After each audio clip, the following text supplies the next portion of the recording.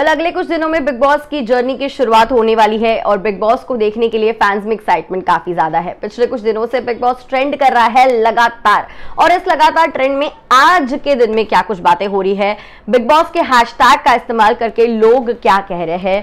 क्या किस तरीके से बात हो रही है? क्या किसी ओल्ड कंटेस्टेंट की बात हो रही है? किसी नए कंटेस्टेंट की बात हो रही है? क्या आ, किसे देखना वो पसंद करने वाले बिग बॉस में? क्या उसके बारे में बात कर रहे हैं?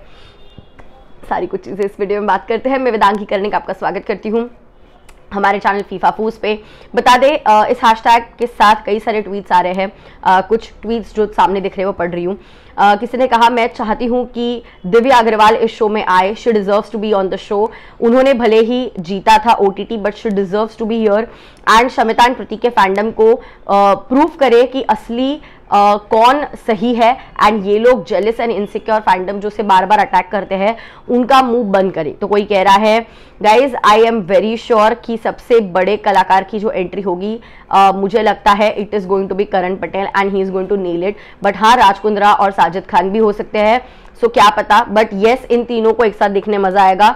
ये कॉन्ट्रोवर्सी से भरा हुआ शो है। एंड आई थिंक कॉन्ट्रोवर्सी में साजिद खान एंड राजकुंद्रा आगे लेकर जाएँगे। बट द शो को अगर कोई रूल करेगा तो करण पटेल होगा। तो किसी का कहना है कि कलर्स वाले कह रहे हैं बजेगी सबकी घंटी, जब होगी सबसे बड़े प्लेयर की entry I think they are talking about Karan Patel तो किसी का कहना है करण पटेल अब तुम्हारा तो गया टाइम वेट फॉर कर्मा मैं चाहता हूँ कि आप बिग बॉस में आओ ही आओ और फिर देखो हीना आपकी कैसे बैंड बजाएगी। तो कोई कह रहा है, हीना के बारे में बहुत सारे ट्वीट्स किए थे बिग बॉस के टाइम पे। भले ही हमारी हीना भूल जाएगी, लेकिन हीना हॉलिक्स भूलेंगे नहीं। तुम गए काम से बेटा, आने का बस इंतज़ार है।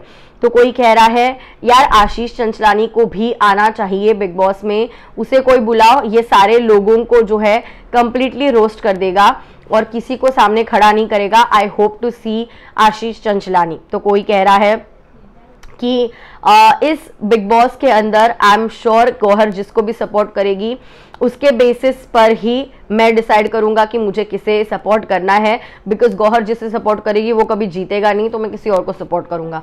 तो किसी का कहना है I am so waiting for my darling Surbhi to come she is going to nail the show she is the best तो कोई कह रहा है तेजस्वी इज़ गोट उसके जैसा कोई नहीं। She has set a huge example and huge benchmark for anyone जो बिग बॉस करेगा। तो कोई कह रहा है, यार, उर्फी जावेद को देखना है, मज़ा आएगा। मैंने सुना है उर्फी जावेद आने वाली है।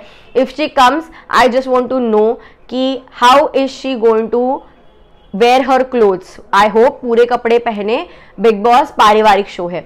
तो कोई कह रहा है प्रतीक सहजपाल को मुझे देखना है as a guest he will be nailing it on जो लोग उसके बारे में अच्छा कह रहे थे आई होप प्रतीक उसे ही सपोर्ट करे. एंड जिन लोगों ने प्रतीक के बारे में बुरा बोला है अगर वो लोग अंदर जा रहे हैं फिर तो इनकी पोल खोली जाएगी.